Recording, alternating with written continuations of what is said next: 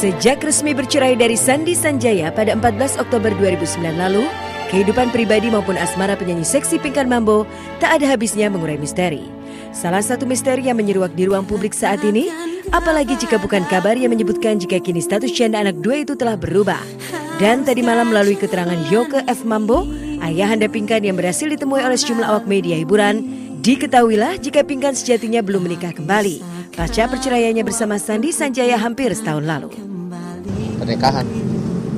Nggak ada pernikahan ya? Kalau saya menikah cuma sekali itu sama Sandy ya.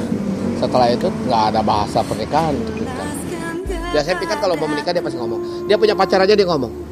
Pak Pikan ada pacar gini gini gini. Yang mana? Yang ini ini ini. Saya nggak pernah ketemu akhirnya dipertemukan Bicara soal pacar, tak lama resmi bercerai dari Sandi, satu bulan kemudian Pinkan diketahui menjalin cinta dengan seorang disc jockey atau DJ bernama Steve.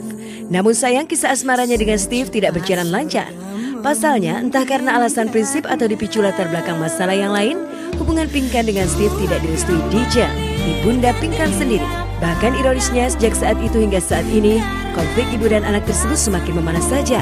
Lantaran munculnya kabar yang menyebutkan jika diam-diam Pinkan telah menikah dengan Steve hingga memutuskan untuk pindah keyakinan mengikuti kekasihnya itu. Tapi menurut Yoko semalam, Pinkan dan Steve sebenarnya sudah putus sejak awal tahun ini. Yang saya tahu pacarnya yang namanya DJ itu yang DJ ya, Steve ya namanya. Ya itu sudah dari bulan Februari mereka sudah kalau nggak salah Februari ya, kalau nggak salah Februari itu sudah sudah cerio mereka sudah sudah sudah uh, sudah selesai.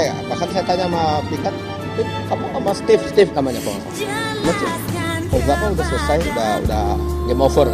Oh kenapa?